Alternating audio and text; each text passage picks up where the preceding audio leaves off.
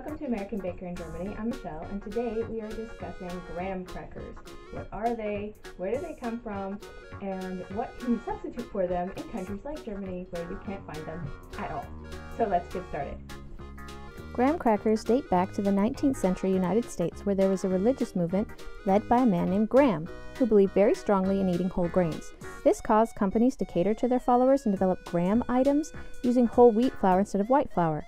Graham flour is finely ground whole wheat flour and makes things like with this flour often called graham.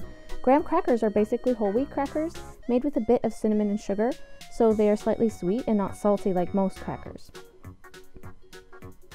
Today they have a form like this, with holes and regular intervals that keep them from puffing up in the oven, and perforation lines so that you can break them at regular intervals.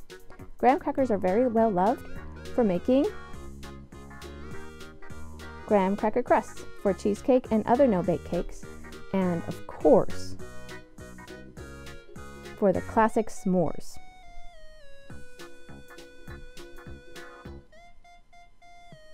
Now, in Germany, these butter cookies aren't very sweet and are widely available.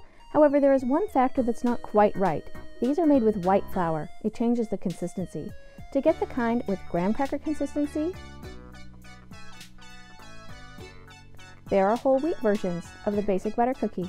They're called Vollkorn cakes. These whole wheat cookies have a consistency very similar to graham crackers. The only major difference is the lack of perforation lines, and these usually do not have any cinnamon in them. These whole wheat butter cookies can be used to make graham cracker crusts and s'mores just as well as graham crackers. I hope you enjoyed the tutorial today, and I'll see you again next time. For more cakes and tutorials, visit our website at AmericanBakerInGermany.com. We're also on Facebook and Instagram.